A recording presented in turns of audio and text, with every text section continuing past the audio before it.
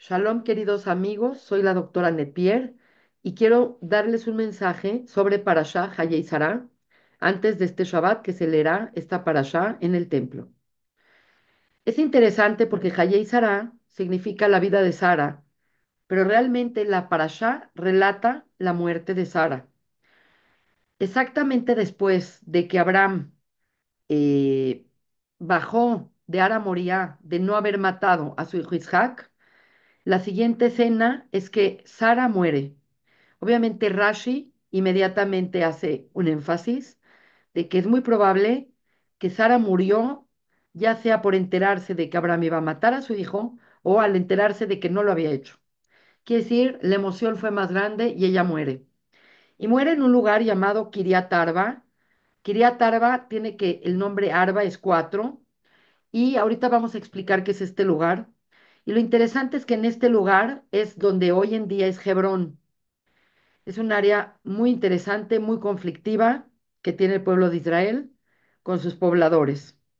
La realidad es que cuando muere Sara, hay una conversación muy redundante y muy repetitiva dentro de la Torah.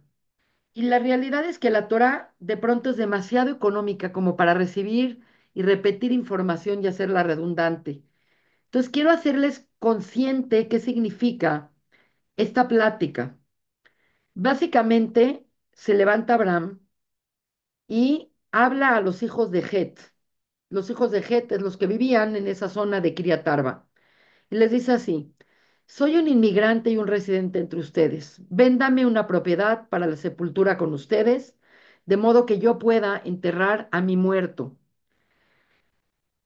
Y este tipo de comentario se vuelve redundante y hay siete veces en las que Abraham está hablando con los hijos de Het, está hablando con el dueño de ese pedazo de tierra que se llama Efrón y le dice, por favor, dame o véndeme más bien este pedazo de tierra para enterrar a mi muerto.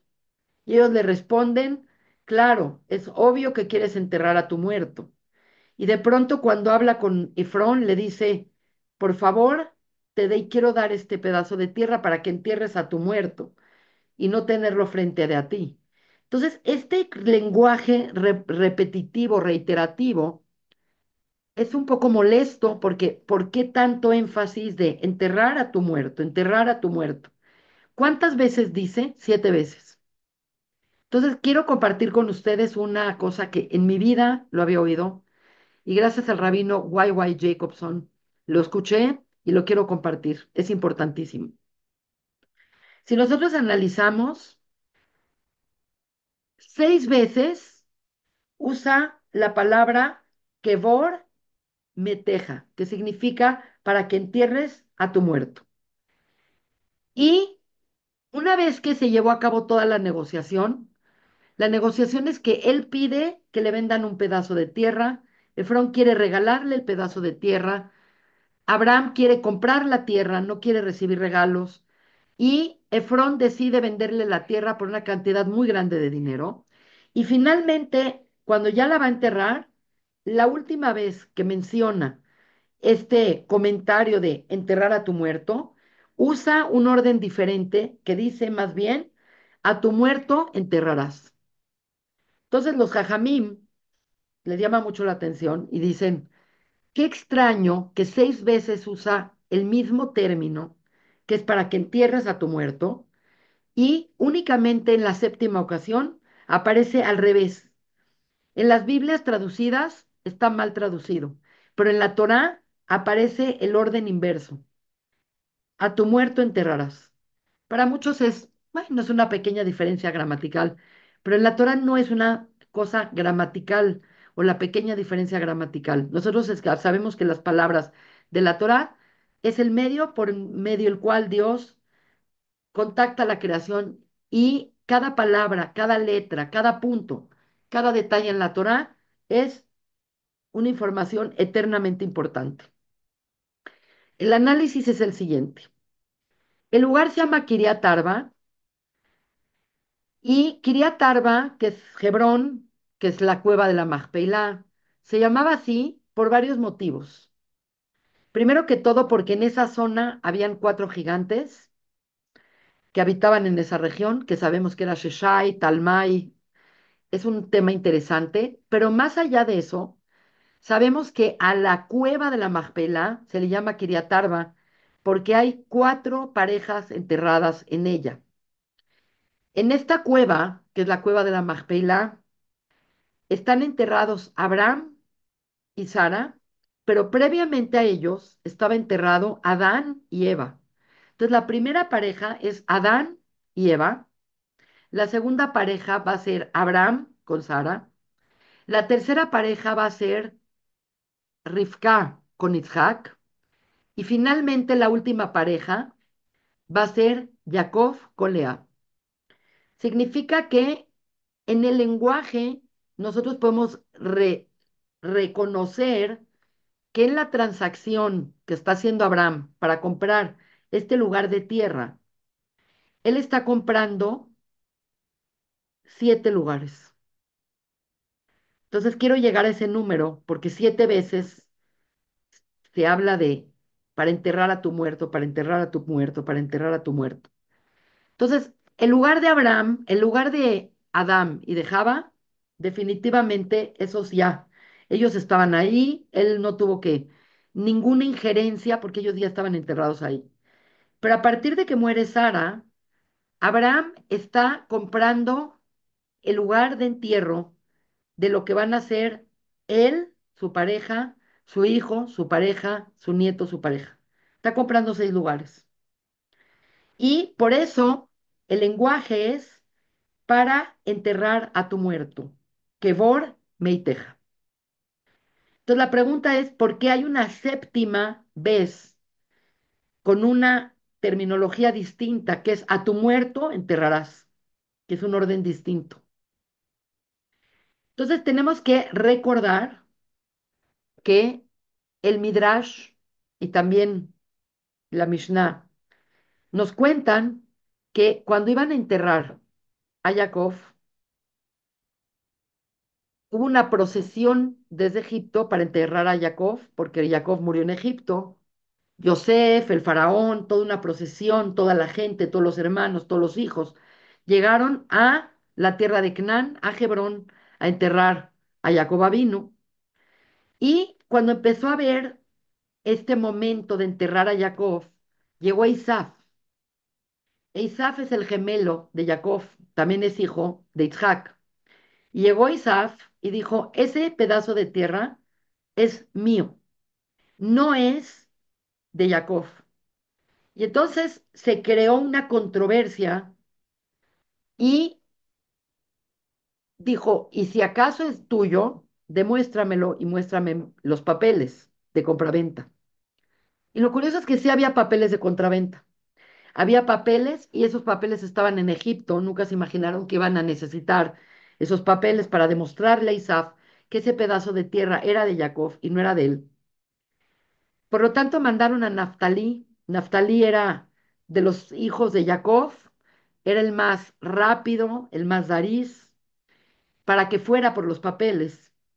Pero en el interim, nadie se dio cuenta que había un nieto de Jacob que se llamaba Hushim, Hushim Ben Dan, y Hushim Ben Dan era sordo.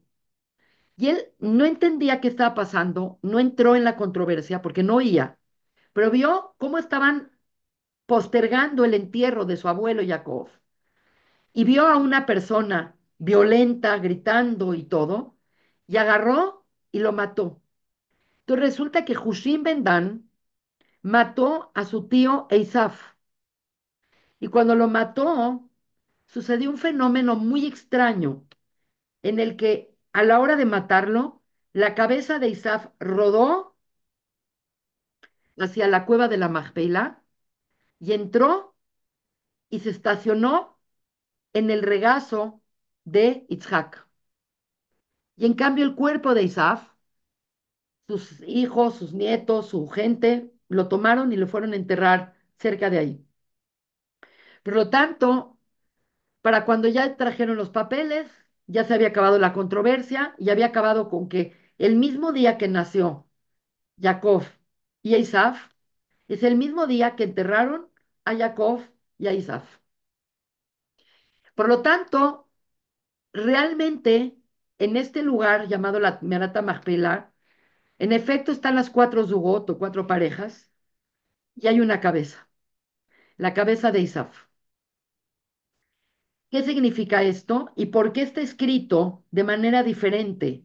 Seis veces decir, entierra a tu muerto y una sola vez dice a tu muerto en tierra. Bueno, este es un concepto extremadamente importante desde el punto de vista filosófico, porque nosotros tenemos una pequeña o grande confusión qué significa estar vivo y qué significa estar muerto. Para nosotros estar vivo es tener cuerpo, tener alma, poderte mover, poderte ver al espejo, poder comer. Esa es una definición de vida, pues una definición de vida pequeña comparada con la que tiene la Torah. La realidad es que la vida es estar conectado con Dios y la muerte es estar desconectado de Él, porque al final de cuentas estás vivo mientras estás conectado a Dios. Por lo tanto, puedes estar físicamente muerto, quiere decir, tu cuerpo puede ser que ya no está con tu cuerpo, con tu alma, pero si tu alma está arraigada a Dios, por lo tanto te consideras vivo. De ahí sale este comentario extraño que dice, realmente Jacob nunca murió. Entonces tú dices, ¿cómo que no murió? Hasta está enterrado. Ah, claro, murió su cuerpo, pero en términos de lo que él es, en términos de lo que era Jacob vino, Jacob nunca muere, porque Jacob siempre estuvo conectado con Dios. Lo mismo lo podemos decir de Moshe Rabeinu. Moshe Rabeinu no murió. ¿Cómo que no murió? Si la Torá relata que subió a Monte Nebo y que el mismo Dios se lo llevó en un beso. Claro, ya dejó de estar físicamente con nosotros, dejó de estar que su alma está identificada con el cuerpo. Pero el alma de Moshe no muere, porque el alma de Moshe está perennemente conectada con Dios. Y por lo tanto, por eso dice, él no murió. En las primeras seis veces que aparece este concepto de entierra tu muerto, obviamente se refiere a que eran tzadikim, eran personas justas, personas que su vida fue conectarse con Dios. Por lo tanto, cuando mueren, es una muerte únicamente del cuerpo. Obviamente el cuerpo es como el estuche, es el vehículo que va a utilizar el alma por un tiempo determinado y después ya entregas tu coche, entregas tu vehículo. El cuerpo no es la persona, la persona es el alma y el cuerpo es un apéndice, es un pedacito de algo que sirve mientras hay ese vínculo. En el caso de la última vez donde dice a tu muerto en tierra, se refiere a que Isaf, al no tener una conexión constante con Dios, al querer separarse de Dios, al querer no tener este elemento de conexión con Dios a través del monoteísmo, a través de la primogenitura, a través de una vida de conexión como la tuvo Jacob, él, aunque estaba vivo físicamente, realmente su alma ya estaba muerta. Por lo tanto, seis veces dice, entierra a tu muerto, porque se refiere exclusivamente a enterrar verdaderamente el cuerpo. Pero la séptima vez que están enterrando la cabeza de Isaf, dice, a tu muerto enterrarás, porque Isaf, aunque estuviese físicamente vivo, en términos espirituales, él cortó su conexión con Dios y estaba muerto. Esto es un tema muy fascinante, es un tema duro, porque significa que realmente la persona, si quiere realmente tener una vida significativa y quiere lograr eternidad, la eternidad únicamente la puede uno lograr uniéndose al eterno. Y hasta donde yo conozco y hasta donde yo sé, lo único eterno es Dios. Toda la creación tiene un principio y tiene un fin. Por lo tanto, si realmente estamos preocupados por nuestra posteridad, por lo que vamos a dejar, Vamos a dejar dinero, vamos a dejar hijos, que es algo muy importante, pero lo más importante es que si trabajamos en nuestra espiritualidad y en nuestra conexión con Dios, estamos trabajando en nuestra eternidad de manera sorprendente. Ahora, por último, me, gustaría explicar este concepto de la cabeza de Isaf y el cuerpo de Isaf. ¿Por qué la cabeza tiene el mérito de estar enterrada en el lugar más sagrado de la tierra, que es Merata Majpeila? ¿Y por qué el cuerpo no? Y este es un concepto muy importante que tiene que ver con todos nosotros. La cabeza de Isaf significa su mente, significa su potencial, significa su alma. Cuando nació Isaf, Isaf viene de una familia, la misma que Jacob. Viene de Itzhak, que es un tzadik, de Rivka, que es una tzadeket. Por lo tanto, el alma de Isaf es un alma excelente. E Isaf tiene un alma excelente. E Isaf tiene un poder excelente. Problema de Isaf es que a lo largo de su vida dejó de contactar su alma, dejó de contactar su mente. Y como su nombre lo dice, Isaf significa una persona hecha, una persona muy desarrollada. Isaf se vuelve una figura arquetípica de una persona que se identifica de sobremanera con su cuerpo y con el mundo material. Entonces, él tenía todo el potencial de ser tan grande como Jacob, pero él decide volverse cazador, decide volverse mujeriego, decide volverse millonario, decide volverse un guerrero y la realidad es que es muy difícil que una persona en este mundo pueda sostener una claridad espiritual cuando se está dedicando al quehacer físico en su totalidad. Eso no quiere decir que una persona tiene que escoger entre la mente y el alma o el cuerpo. No, simplemente es saber dar prioridades. Tenemos un cuerpo, sí, tenemos que cuidar el cuerpo, sí, tenemos que vivir bien y tenemos que comer y tenemos que viajar y tenemos que, que, que, tener un- una existencia física buena, placentera, sí, pero ese no es el fin. El fin es trabajar la parte espiritual, trabajar las ideas, trabajar nuestra conexión con Dios. Por lo tanto, Eisaf representa lo que se llama modernamente como la disonancia cognitiva. La disonancia cognitiva es cuando tú sabes lo que tienes que hacer, tú sabes que este mundo tiene mucho potencial, tú sabes que tienes que trabajar para tener un contacto con Dios, tú sabes que tienes que trabajar arduamente para crear una espiritualidad sostenida. Pero por otro lado, tienes un mundo que se presenta y se despliega frente a nosotros con muchas cosas y cosas muy atractivas, cosas placenteras, cosas inmediatas, gratificación, cosas materiales que de pronto nos cegan. E Isaf es el prototipo exacto, no de la maldad, sino la disonancia cognitiva. Una cosa es lo que piensas, una cosa es lo que debería de ser y otra cosa es lo que hago. Isaf tuvo el potencial de ser igual o más grande que Jacob. Y eso es algo que Itzhak lo vio siempre. Por eso Itzhak lo recibe en su regazo.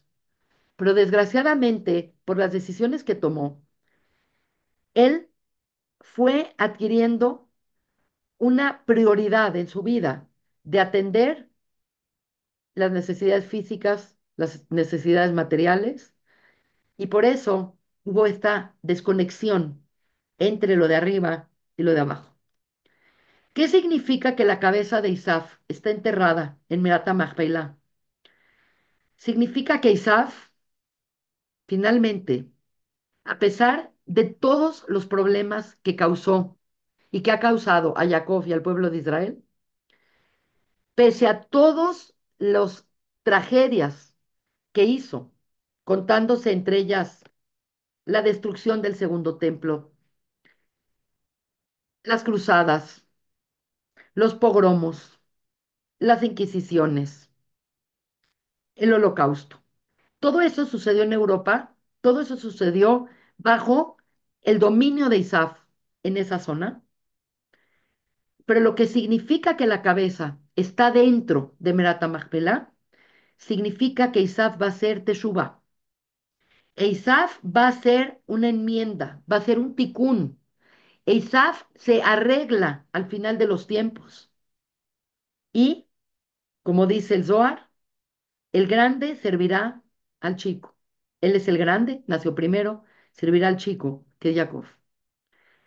Es espectacular lo que les voy a decir, pero exactamente lo que estamos viviendo hoy, estamos viendo un, una teshuvah importante en un sector muy grande de ISAF. Básicamente,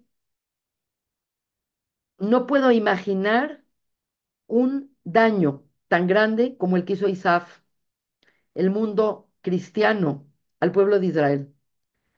Pero a partir de hace varias décadas, inclusive voy a citar a una persona muy querida para mí, que fue el Papa Juan Pablo II. Juan Pablo II fue una persona extraordinaria y fue una persona extraordinaria para muchas personas, para el pueblo mexicano, para los cristianos, para los judíos. Fue una persona muy importante, una persona muy sensible, una persona con gran visión. Y a partir de él comenzó una nueva cara del cristianismo hacia el judaísmo. Y él habló de algo muy sensible que llamó al pueblo de Israel nuestro hermano mayor. Y la realidad es que toda la disputa de Isaf con Jacob es quién era el primogénito. Porque Isaf vendió la primogenitura porque no le importaba ese trabajo espiritual, pero después obviamente se arrepiente cuando se da cuenta que está perdiendo las cosas. Entonces, cuando viene Juan Pablo II y le dice al pueblo de Israel, ustedes son nuestros hermanos mayores, no es cualquier cosa, está reconociendo que realmente la primogenitura la adquirió contante y sonante Jacob.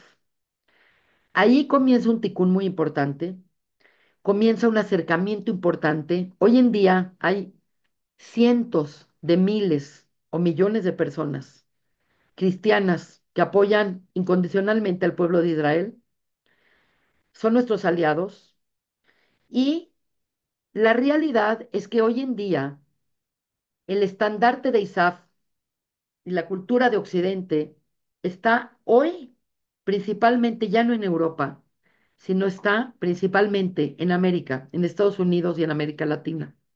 Los valores de ISAF, los valores de Occidente, los valores heredados del cristianismo llegaron a este continente y encuentran una renovación, encuentran otra forma de incorporar esos valores, que son valores judeocristianos, que salen de la Biblia, incorporarlos de manera proactiva y positiva.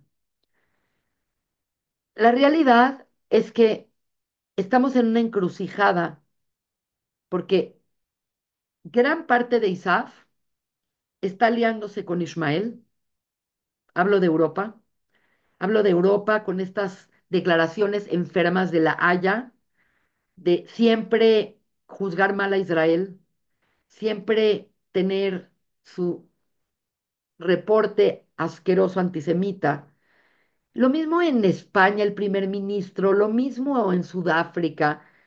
Este mismo rollo, este mismo tema, este mismo libelo que hubo en la Edad Media y que lo hubo en, en los protocolos de los sabios de Sion, este mismo tema, este mismo tema de seguir el antisemitismo ahora apoyando al Islam, les va a costar a esta gente Europa, porque realmente Europa hoy en día está en llamas y está en caos por haber abierto las puertas indiscriminadamente al mundo islámico. También eso está en la Torah, pero eso será otra clase.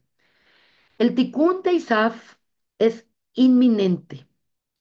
Hoy, muchos países que provienen de ISAF, muchos países de Occidente, muchos países cristianos muy importantes, apoyan de manera total al pueblo de Israel y lo apoyan con dinero, lo apoyan con armamento, lo apoyan moralmente, lo apoyan espiritualmente, rezan por él. Y por lo tanto, ese es el simbolismo de que la cabeza de Isaf está dentro de Mrata Machpelah. Quiere decir que Isaf tiene un lado muy redimible, que su mente y es su alma, pero su cuerpo no. Su cuerpo está enterrado aparte y su cuerpo no tiene ticún. Por lo tanto, lo que estamos expresando en esta parasha de Hayei Sara, nosotros estamos viendo una escena sensible de la vida de los patriarcas con todo el desenvolvimiento de lo que implica esta compraventa particular de la cueva de la Magpela en Hebrón. Espero que Dios nos dé vida, nos dé la capacidad y nos dé paz para ir todos juntos a la Merata Magpela y poder ir a rezar ahí, porque es un lugar de una energía espectacular que el Talmud claramente dice que es la puerta al portal del Ganeden, de Olam Yetzirah. Me despido de ustedes, les deseo Shabbat Shalom a todos y nos vemos prontamente con otra transmisión. Quise compartir esto antes de Shabbat para crear inspiración en ustedes. Les saludo con mucho cariño y con mucho amor, doctora Annette Pierre, Shabbat Shalom Mevorach. Shalom.